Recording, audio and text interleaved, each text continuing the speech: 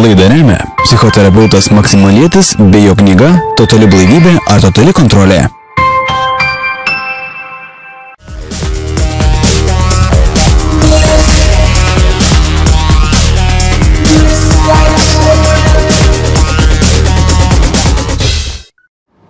Labas visiems, su jumis Ignas Bakėjus, laida 0 laipsnių ir čia Lietuvos ryto televizija.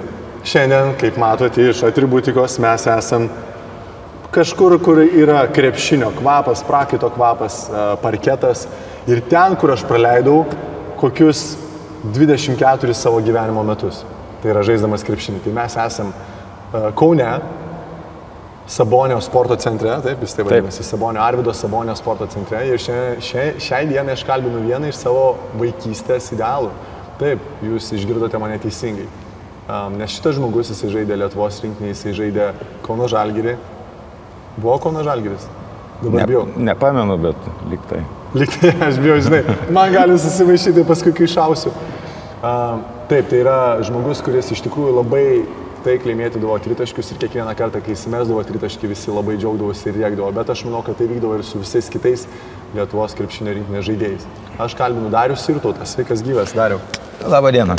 Jisai, jisai kaip tik yra e, šios mokyklos vienas iš trenerių ir e, šiandien mes su juo pasikalbėsim apie jo kelionę ir apie jo, apie jo gyvenimą. Tai dariau, e, žmonės tai prisimena iš krepšinio ir galbūt turbūt didžioji dalis žmonių dabar tai yra, žinai, tai gerai, tai ką dabar Darius veikia, kuo jis užsiema, tai kuom Darius užsiema dabar. Šiuo metu esu e, Arvido Sabonio krepšinio centro treneris, kuris yra Kaune. Mm.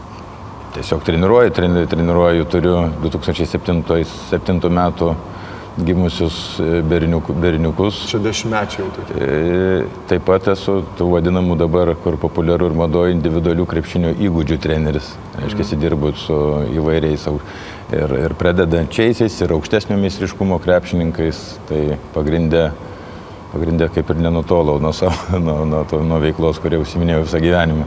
O kaip pats krepšinis, jisai, žinai, man dabar, e, kiek man čia buvo, 20, 28, man reikėjo pasirinkti, jau žinai, ar man vat, šeima prioritetas numeris vienas, tada šalia to šeimos dar buvo mano sportinė veikla atsiradus ir man tiesiog nebeliko kada žaisti.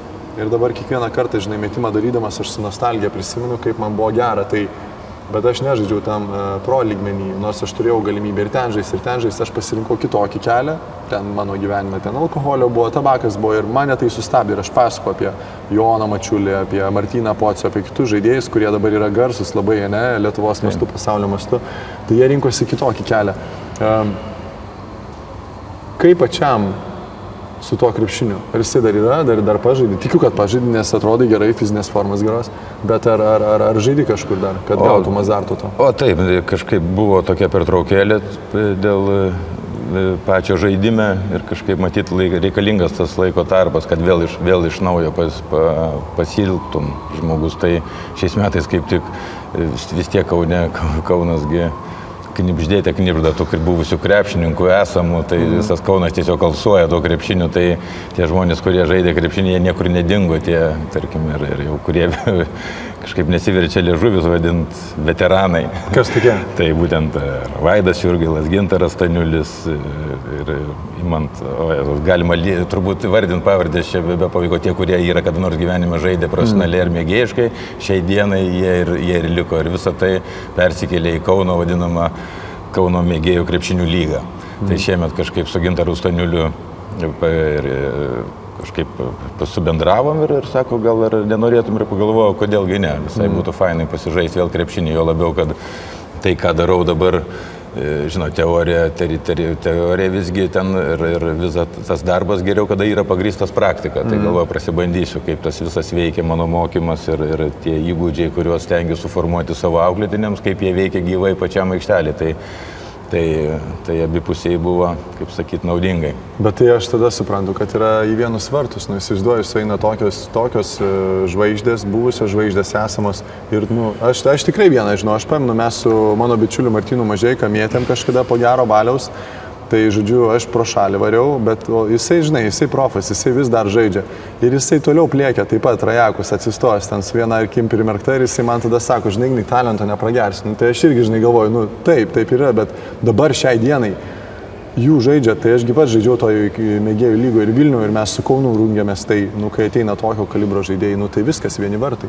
Dabar gal ta, ta, ta top sportas, būtent po, po Gintaro Staniulio vadovaujama, A. ta komanda gal yra kiek, kiek koncentruojasi daugiau tų Darius Dinavičius, kaip sakau, Vaidas Jurgilas, mhm. pats Gintaras. E, Vaidotas Styga, Singaras Tribė, ne, tai tokios, Legendas. tai tarkim, jau yra buvę profesionalūs krepšininkai ir, ir mėgėjų lygoje. Na, nėra taip, nėra taip lengva, žinot, yra didelės ambicijos visada, ko stipresnė komanda arba prieš geresnį krepšininką visą laiką, kaip sakyt, sukovot kuo garbingiau, tai, bet visgi dar kol kas, kol kas užtenka tos buvusios patirties ir mm. kad, kad visgi eilė metų yra nugalėtojų komanda. Bet Kaunas, žinot, tokia yra ambicingas krepšinio atžvilgių miestas, yra kitos komandos taip pat tų krepšininkų čia ne, ne pirmi ir ne paskutiniai, reiškia, tam amžiui visgi, žinot, kur, kur kas, kaip sakyt, kas dar kas gyvas, tas žaidžia, tai ir žaidžia neblogai, tai yra krepšininkų buvo, buvo daug, tai kitose mėgėjų lygos, tose komandose tų e, aukštesnio meistriškumo kitų buvusių krepšių taip pat užtenka. Todėl vyksta atkaklios kovos ir nėra taip, atrodytų taip lengva, kaip, kaip va, skamba pagal pavardės. Mm. Jau senas tas posūkis, kad nepa, nepavardė žaidžia krepšinį, ar ne, žaidžia metai praėję, niekas nebestreniruoja taip aktyviai, todėl tam, tam tarpe tarp 40 ir 50 metų jau visgi tas galim jau prie to turbūt privest prie, prie nuo, gyven, nuo gyvensenos būdo priklauso, ar ne, ir ta forma, ir pats tas žaidimas. Ja, gerai sakai. E, bet tai. aš dabar, aš pamenu, kai mes Vilniui buvom ir Vilnius buvo tikrai ant bangos ir ten Lietuvos rytas e, atrodė kietai ir, žinai, Kauno Žalgirį ja. ten nugalėdavo, dabar jau ten eilę metų pasikeitė tai yra, tai aš tokį kažkokį traktuoju gal kad e, vis tik tai persikėlė tas e, centras, Lietuvos krepšinio centras į Kauną. Aš nežinau, gal tai visada buvo, bet tokia mano nuomonė, bet dabar kas vyksta Kaune ir, vat, kaip pats sakai, kiek čia tų žmonių, krepšininkų suvažiavę, tai čia yra centras.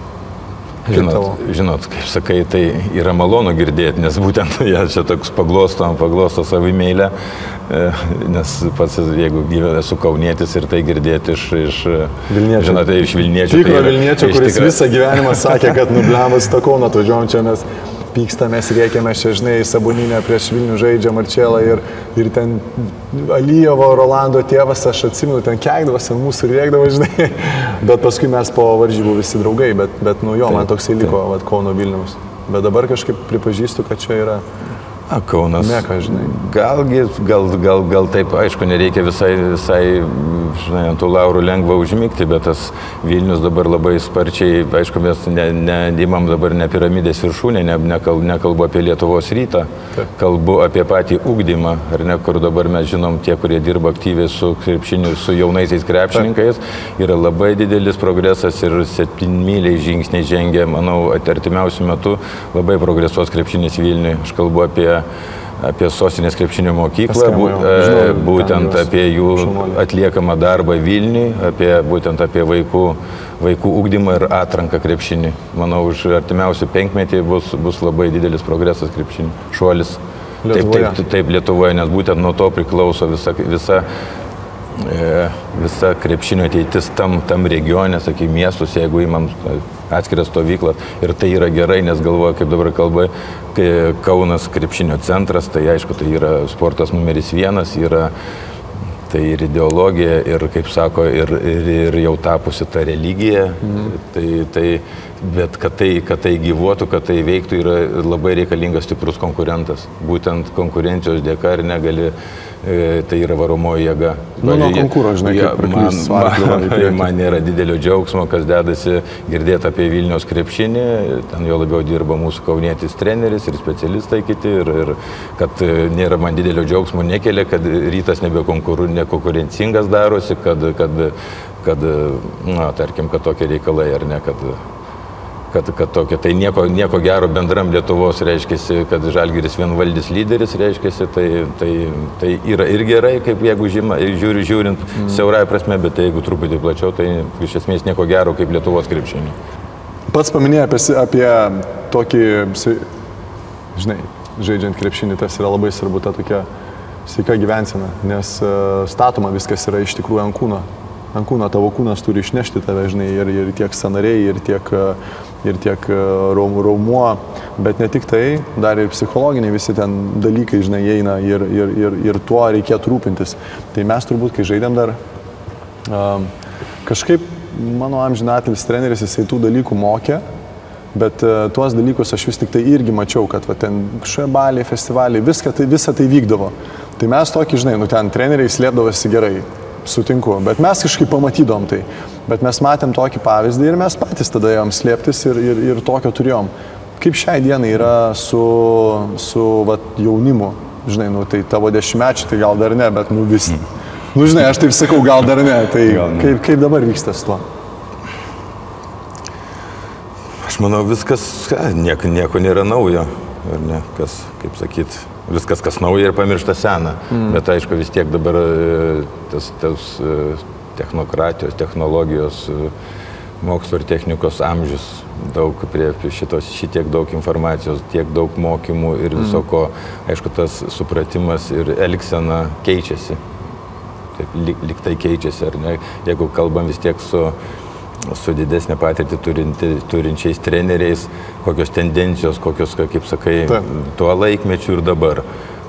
Kaip kalbam dabar, viso ko prioritetai pasikeitė. Visi kalbam apie tai, apie, tarkim, technologijos aukščiausio lygio, klinikų, seminarų, žinių, e, ko tik tai nori, pil, mm. pilna, ar ne, viso ko pas mus, kad ir mokyklų savo Arvido Sabonio krepšinio centre, turim testavimų, puikias testavimo ir, ir, ir, įrankas, naujas e, šio laikiškas treniravimo metodikas. Treneriai tikrai puikiai, puikiai išmano savo darbą, dirba gerai ar ne, bet, bet pasigendam pas kažko, kažko, kažko nevaliktai trūksta, kažkokio rezultato ar kažkokio galinio to rezultato, kažkur jisai, tarsim, tai, toj, tam keli, tam procese viskas tarsi išnyksta. Mm. Ir tas galutinis ir to, ko norėtumėm visi matyti, to tas galutinis rezultatas, kas yra paruoštas visapusiškai žaidėjas kaip atletas, tiek ir su techninėm savybėm, ir su psichi, psich, psichologiniam ir dvasiniam savybėm, mm. būtent tas gatavas, kaip galiu galima pavadinti žmogus, nu, kaip asmenybė. asmenybė asmenybė, mm, Lietuvos rinktinė žaidėjas, kuris garsina mūsų tautą ir, ir, ir, ir mūsų krepšinį visam pasauliu. Tai toksai, jeigu tokia vizija, toks tikslas būtų.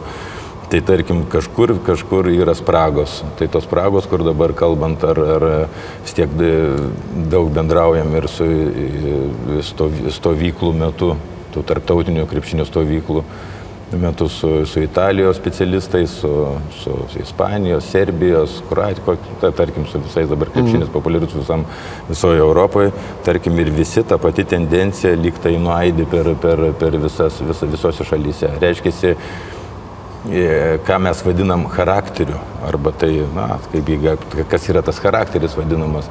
Reiškia, jeigu dabar, prie, kaip ką tik minėjau, prie visos tų technologijų ir tos mokslinės pažangos dėgymo į krepšinį turėtų, turėtų būti rezultatas puikus. Deja, jo mhm. nėra. Reiškia, charakterio savybės tai yra valia, ryštas, e, e, užsispyrimas, tikslo siekimas arba jo turėjimas, vizija. Reiškia, kažkur kažka, kažkokios yra spragos, kur, kur, kur kažkur... Vat, reiškia, prie viso to, to norimo rezultato kažkaip ir, ir trūksta, jaučiam savo mokyklos centre, mm. yra mokyklos, tarkim, patys talentingiausi krepšininkai, kur, kur tur mokyklos vadinama piramidės viršūnė, tai yra žai, turim, žaidžiam regionų, regionų lygoje, pirmas, antras divizionas ir po to sekantis etapas jau yra Kauno Žalgirio dubleriai.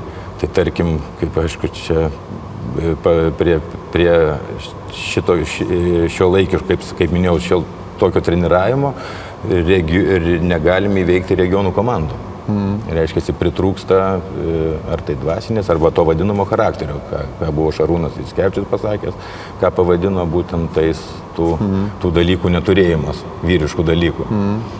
Kiaušų. Jo. Jis kalbėjo apie kiaušus. Jis kalbėjo apie tai.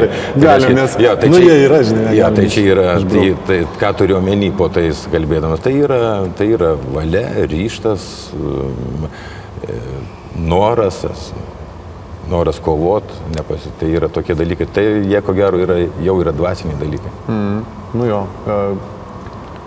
kaip, kaip visam tam visam tam reikale, kadangi aš pats ten krepšinį buvau, aš mačiau, kas darius, kaip ten visame tame yra alkoholis. Ne, ne, nebūtinai kalbant apie Ne, jūs, bet va, teisingai. Europos mastu, žinai, vat, irgi, kai bendraujat, važiuojat, matot, kas ten yra, nes Taigi, nu, tai yra piramidė, žinai, tai yra vadovai klubų, tai kaip jie gyvena, kokį jie pavyzdį rodo, žinai, nes jie gerai gyvena ir jie rodo tokį pavyzdį. Tada yra treneriai, ten ta visa administracija, tada yra treneriai, tada yra patys ten administracijos kažkokie darbuotojai ir yra žaidėjai. Ir va ta tokia, ka, koks ten mastas yra, ir ar ten yra, ar čia yra, ar tai yra problema krepšinėje. Krepšinė. Nes senais laikais turbūt buvo didelė problema, nes tiesiog, nu, Hebra tai darė ir tai buvo ok, nes tai buvo norma, bet dabar turbūt tų rezultatų negali pasiekti, nes trūksta to charakterio, tą, ką išvardinai, nes dar pasipildo dar ir šitais dalykais, tai tikrai neprideda, o dar labiau smugdo. Na, kaip sako, iš populiaru- populiarėjus mokslų ir technikai ir visai, visai, visai, visai tai pažangai ir atsidarius tas platesnis pasaulis atsivėrė, yra daugiau tų, tų pagundų, ne tik alkoholis. e, Bet Tabakas, tai, narkotikai. Ja, dar narkotikai įsivelia ir, ir visos, visos, tarkim, tos e, visi kiti likę malonumai. Nu, Tai aišku, jie, bet, bet mano dabar aš, ne, aš net sunku pasakyti, aišku, tam dabar aš toj terpiai, kurioje dirbu, ir nesu tais su to amžiaus, kažkaip aš kaip ir nebematau. Žinau, arba, arba tiesiog, kai, kai pats, kur, kur pats esi, ta, ta, kas tavi, tas tai ir supa, ar ne? Mm. Tai aš kažkaip net, net kur tose, kur dabar dalyvauju, ypatingai tai man nekrenta į akis, bet, bet iš spaudos ar ne apie, apie mano draugą, apie kolegą, apie Gintarą Einikį, arba Vilmantą Dylį, arba žinomus mūsų gerus, gal čia pavardėm, aišku, ne, ne, ne mano reikalas, arba ne mūsų, bet tarkim jau kur pati spauda apšviečia mūsų visuomenę, ar ne, gerai žinomosios krepšinio asmenybės ir, ir geri krepšininkai, Taip. tarp kitko, tai yra, tai žinom, kad visgi problema egzistuoja. Tai Tai reiškia, niekas niekur nedingo. Tik tai reiškia, bet mano, mano, mano manimu, tarsim, ten, kur aš esu, liktai, liktai nes liktai žmonės darosi ir samoningesni. Nes e, gal buvo ribotos galimybės to laikmečio, nes tai buvo vienintelė ta relakso forma, atsipalaidavimas ir tai buvo madoje, tai pačio aukščiausio lygio krepšininkai, tarkim, tai gal buvom ribotesni tiesiog, dabar galimybės didesnės ir atsirado drąsesni žmonės. Tada buvo koksai a, aludė kaip po a, relaksacijos ta, ta, tai paskutinis taškas, dabar, dabar, dabar tiesiog nežinau, gal žmonės abejingesni pasidarė viskam, ne tik tikslo siekimui, bet ir gal, bet alkoholis nežinau. nežinau Nu, šiaip ir gyvenimui abejingi, žinai, nu tokie, nes ten visokių pasigirsta ir savižudybių, dar kažko nors. Nors tų krepšininkų tarpe kažkokių tokių, žinai, gal ir negirdėjau. Nu, labiau tas toks, žinai, kad vat, depresija kokia.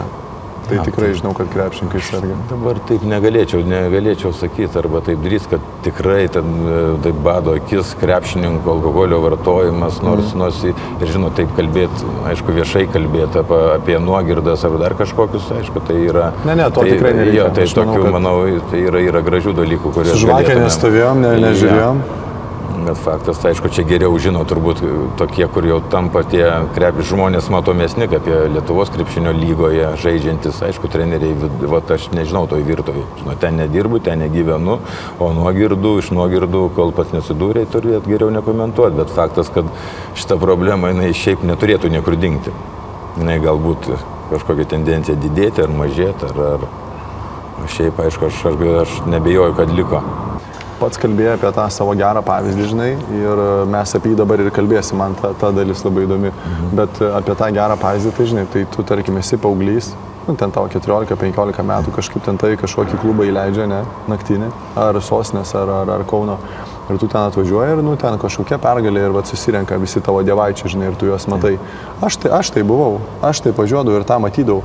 Ir, žinai, aš juos žiūriu ir, ir viskas, ką jie daro, tai yra dieviška, tiesiog sudėvinama. Jie ten e, kokteilį geria, su merginom apsikabinę. Aš noriu to, aš noriu daryti tai ir aš noriu būti ten. Tai čia mes kalbame, žinai, apie jaunimą, kaip ten tu savo pavyzdžių gali parodyti. Arba tada apsisuki ir kažką gero darai, žinai, ten, nežinau, kaip e, Mindaugas Kuzminskas ten organizuoja kažkokią ten savo vardo, ten krepšinio mokyklą. Ten Donatas kažkokį- Motiejūnas. Donatas Matijūnas turiu omeny, gražių pavyzdžių rodai, kaip tai daryti, nes kai ten tave kažkas kažkur pamato naktį, žinai, besišlaistanti, nu tada jau paskui spauda rodo, žinai, va koks pavyzdys. Bet aš suprantu, kad dar niekas nekalba apie tai, kad tuo asmeniniu pavyzdžiu būk geras rodyk. Tautai, jeigu jau tu tiek žinomas esi. Tai va aš tada klausiu paties, kaip tau pavyko tą tokį pasiekti lygį, va, kaip tu dabar jau sakai, nes čia yra aukštas lygis. Aš žinau, nes aš dirbu su tuo. Kai tu pasakai, žinai, kad, nu, aš nepastebiu, nes galbūt tai, kad aš toks dabar esu, aš tokius ir pritraukiu. Tai tas yra faktų faktas. Tai vad kaip tau pavyko iki to ateiti, žinai, gal iki Kad jau dabar. Aš kartais gerai sakai, aš gerai, aš dabar kartais pagalvoju, gal tas buvo reikalinga, kaip sakai, tie gyvenami, gyvenimo nuosų, nuosmukiai. Kažkur girdėjau nesenai frazę, sako, ką geriausiai pasiekiai savo gyvenime. Tai sako, dugna. Tai buvo geriausiai, aukščiausiai, ką galėjau pasiekti. O žinai, kodėl taip yra?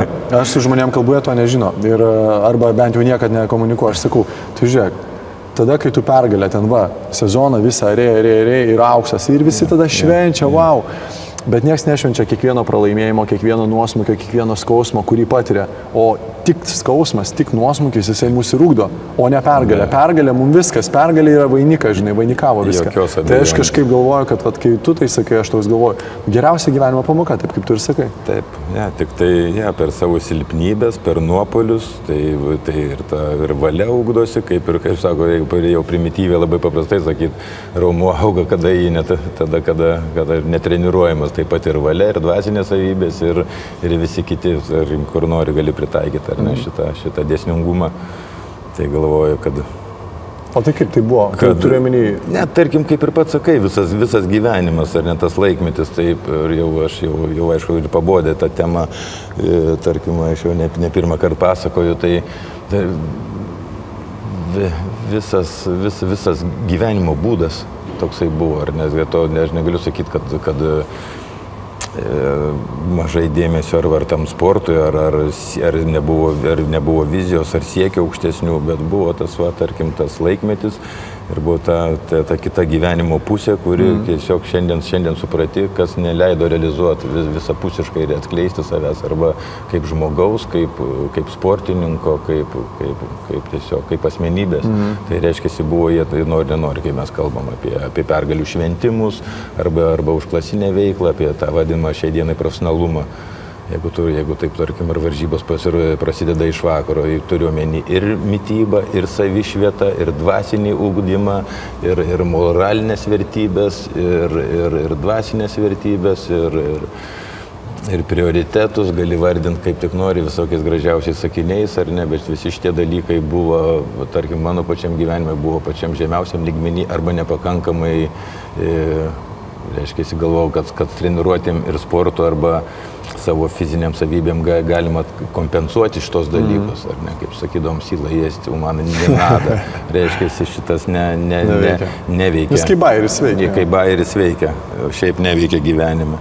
Na, tai tarkim ir tai, ir tai tiesiogiai, kaip aš dažnai mėgstu sakyti savo bendruomenės ten ar, ar susitikimuose, kada kalbam, tas geras gyvenimas, ne va, tarkim, tarkim, kad jeigu ten esi, gali būti ir to laikmečio dievaitis ir, ir turėti savo gerbėjų, bet tavo, tas, tavo gyvenimo būdas, e, kuris susijęs ta, su alkoholio vartojimu, mm. ne, jisai arba patenk, pasitenkinimas tuo, ką turi ir, ir, ir tas ne, su savo vidiniu dvasiniu savybių neugdymas, jisai priveda, kaip sakau, kaip sakau, tas dažnas toksai, gal senas posakis, sako, malonumai apglėbė tam, kad pasmauktų. Galų galiai jie tave pasmaugė. Reiškia, malonumų reikia labai susaikingai su mm. malonumais gyvenimu. Mm. Reiškia, malonumai, kas yra, tai, tai aišku, tai patys laurai, tie patys vainikai, pinigai, dė, dėmesys e, žmonių, žiniasklaidos ir, ir taip toliau. Reiškia, visa, visa tai atrodo ta, ta šito pasaulio grožis jisai, jisai gali, gali žmogų ir ypatingai jauną, nepasiruošusi, gali sužlugdyti. Tai būtent man lyg tai visas, visas gyvenimas klojosi gerai ir karjera pakankamai gražu viskas buvo, bet va, tie dalykai, apie kuriuos kalbu, jie buvo nepakankamai, nepa, buvo nublandu, atstumti į šalį ir, ir, ir, kaip sako, gyvenimas. Po truputėlį lyg tai viskas, ne, nepastebi, kada žmogus tada gyvenimas pradėjo birėti šipulius. Gyvenimas. Ką? Gyvenimas, tai plati, plati savoka. Santykiai, šeima, bendrystė su artimai žmonėm, karjera, darbai, pinigai, galim visas, visas, visas, visas sferas, kurias, kurias apimam. ir dėl ko stengiasi žmogus. Dėl ko taip, dėl ko mes stengiamės. Tai ką tada daryti, kaip nepalūšti? Nu, turiu omeny, aš gal žinai, žmonės ten kažkas, kas yra girdėjęs, tu, bet kai tu sakai, nu jau girdėjau Jo, tokį jo. pavodus, ne visi žino, žinok. Ir turbūt, va, jeigu tau tas žinomumas arba ta garbė ir tas visas dalykas buvo duotas, ir kai jau paskui tu gali apie tai papasakoti ir žmonės yra, kurie klauso, tai gal tas įkvėpimas, žinai, iš to ateis. Kaip, kaip nepalūšti, kai esi tom, tam momente? Nes tai, žinai, pasieki dugną, tada eini į viršų. Kažkas, vat, kas dabar gal arba dugne, arba prie dugno, jie gal, žinai, išgirdę kažkaip sugalvos spirtis. Ja, mano gal ir banalu ir aišku, tiem vieniem, ką pasakysiu, tie, kaip sakai, aišku, čia aš vienintelis ir e, tikslas ir yra mano dalyvavimo šitoj laidoj, galbūt kas nors išgirs, galbūt kažkam bus e, žo- žodis lemtingas arba padrasinantis, arba kažkas kažko, gal, gal tikiuosi daug Dievą kažkam, tai bus į naudą. Vienintelė viltis ir vienintelis tikslas mano, dalis, kaip sakiau, buvimas šitoj laidoj. Mm. Tai iš, ir, ir aišku, ir aš, žinot, tos, tos banalios ir nuvalkiotos kalbos, jos, žinau, eina prausis ir, ir žmonėms nusibodė ir nebeįdomu girdėti. Bet, sakau, tokia viltis, aš privalau vis tiek savo asmeninio gi- pavyzdžius, savo asmeninę gyvenimišką patirtim pasidalinti, kaip man buvo. Reiškia, man buvo, aš esu ne vienintelis, tai reiškia, mes visi esame panašus. Mm. Tai, reiškia, tik tai niuansai gal skirtingi kažkiek. Tai, tai mano, mano, mano atveju buvo labai, labai paprastai, kaip nepalūšti. Kaip nepalūšti? Palūšti. Tai reikia turbūt palūšti. Mm. Kaip neįmanoma nepalūšti. Ir ateina, kada žmogus, e, tas, tas vadin, kas yra tas dugnas vadinamas, kada tu supranti, ten ar, ar gal prieini prie savo egzistencijos beprasmybės, ar ne, kada pamatai, kad viskas sugriuvo, tai tu palūšti. Tai aišku, paskui tos, to palūžimo įvairios tos formos, depresijos, e, neurozės įvairiausios, ar ne, dar pakrypimai, kurie baigėsi ir, ir mirtim, ir, ir, ir, ir išsiekimais, kokiais tik nori. Tai, tai žmogų tai tada, kas mes esame žmonės, sukurti, sukurti vienas kitam bendrystėje, artimai bendrystėje, mm. reikalinga pagalba žmonėms, mm. reikalinga pagalba tą, ką mes dabar čia su, su tavim ir kalbam. Ta. Reikalingi vienas kitom, tai yra žodis, e, patarimai, e, pavyzdys gyvenimiškas, dar kažkas tai yra.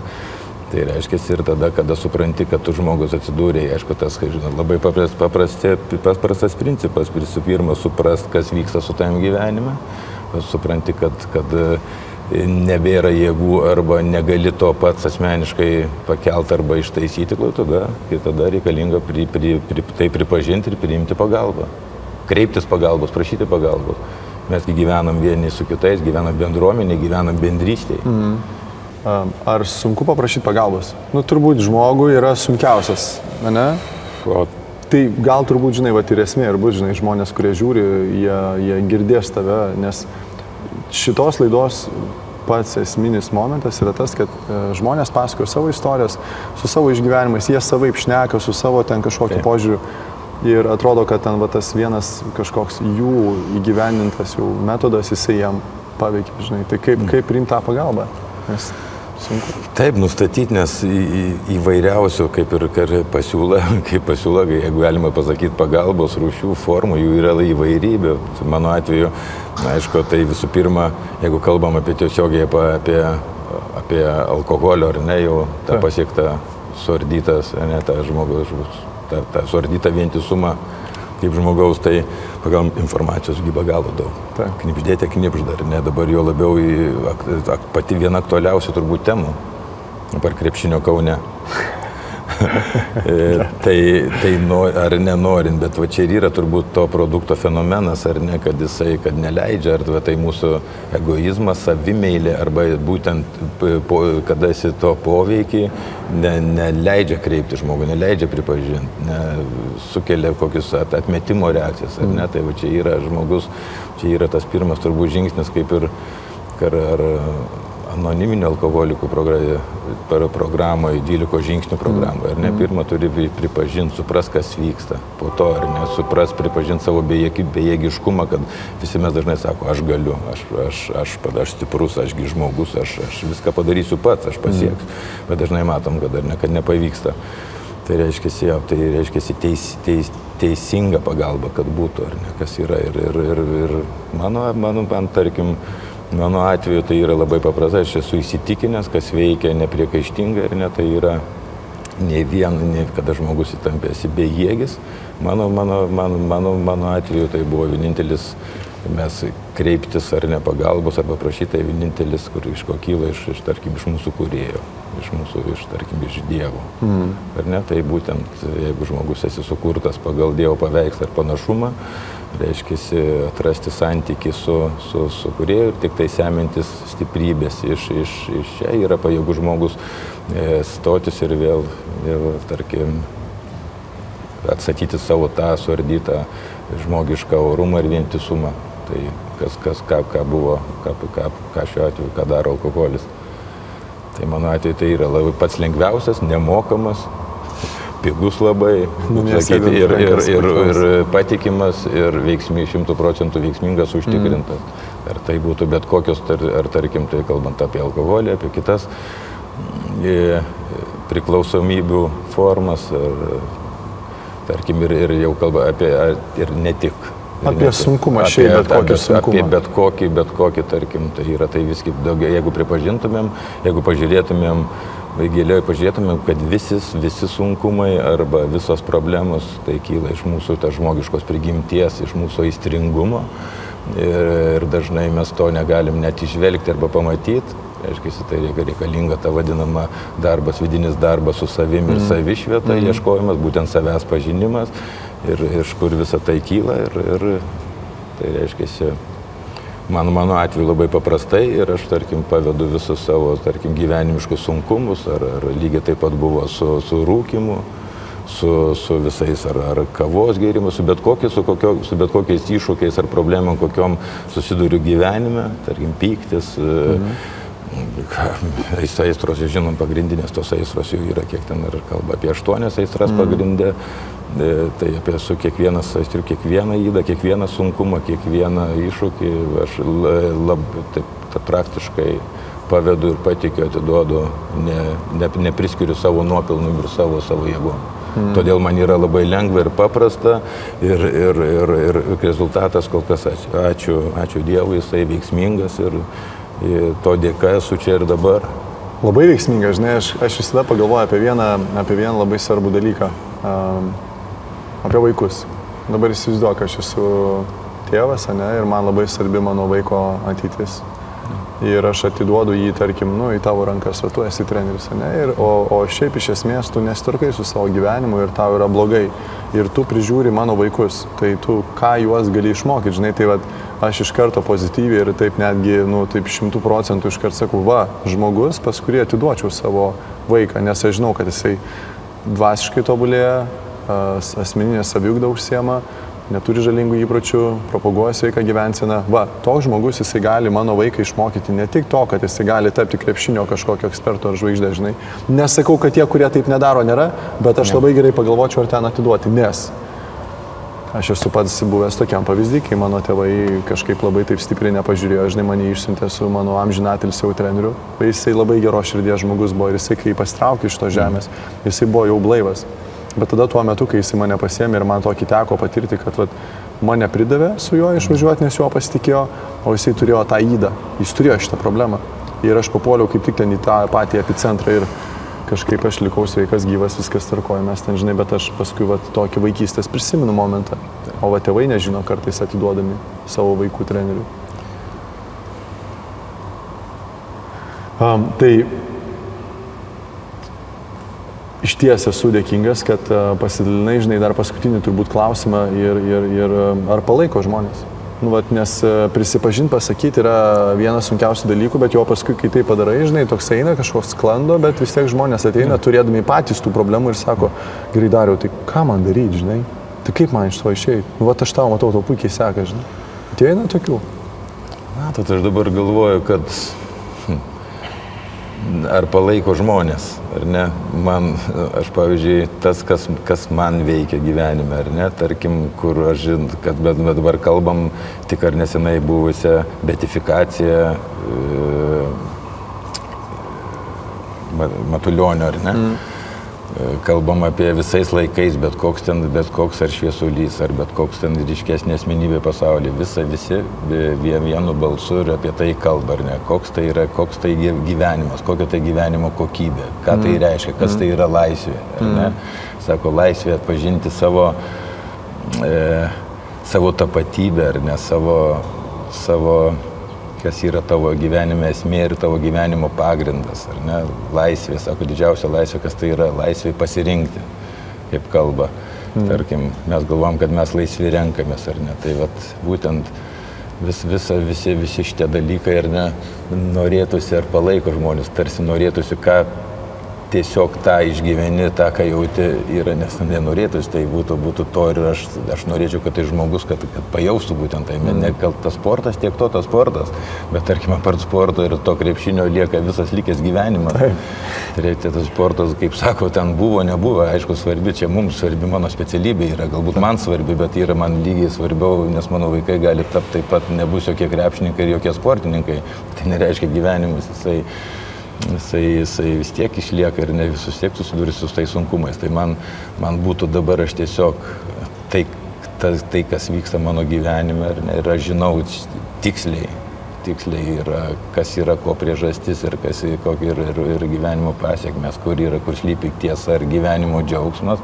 Man tiesiog privalu, privalu visais įmanomais būdais, esu tam būtent turbūt ir, ir, ir tai būtų dabar gal ir, ir dar pagrindinis ir esminis būtų pašaukimas, ar ne, tai, tai sakyti, tai kalbėti žmonėm, ar ne, kad, ja. tiesiog, kaž, kad tiesiog kažkas išgirstų ir dar, kad galėtų, kad galėtų tiesiog laisvai ir laimingai gyventi. Bet turbūt pagrindinis yra parodyti savo pavyzdžių, nes tu turi tikrai vaikais pasirūpinti ir jie, aš, aš prisimu, kaip aš buvau, tai manim, man treneris buvo mano tėvas antras.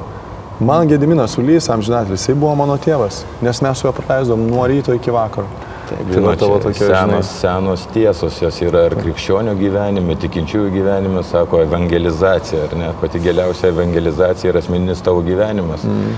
Sako, jeigu, jeigu negana to, kom gyveni, tada gali dar ir kalbėti. Reiškia, žodžiai jau nebereikalingi, tiesiog mm. gyvenimo pavyzdys, tiesiog pats, pats buvimas, buvimas tuo, kuo esi tai yra, yra geriausias pavyzdys, kiek, kiek, nu, geriausias pavyzdys mm. aplink, aplink esančiam. Labai gerai. Tai dariau. Ačiū tau labai. Nuostabus pokalbis. Tai, man labai patinka laikyti šitą kamulį, bet jau išsiskirdamas su jumis pasakysiu taip, kad šitas kamuolys yra kaip jūsų gyvenimas, jūs jį galite išmesti, jis gali kažkur toli pabėgti, bet jūs visada galite nueiti kito kamuolį, jį pasimti ir niekada jo nepaleisti ir jį branginti, nes mūsų treneris amžinatelis, bent mano, aš tikiu ir darius lygiai tokio, tokio to pat moko, kad branginti jį kaip savo gyvenimą. Tai ar pasą atiduodant gražų pasą atiduoti, ar metant į krepšį, jau ten gražiai paleisti, neprarasti to kamulio.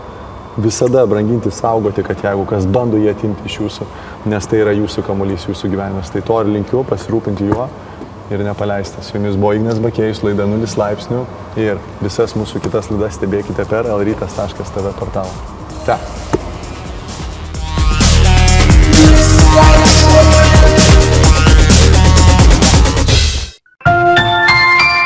Laidą remia psichoterapeutas Maksimalietis bei jo knyga Totali blaivybė ar totali kontrolė.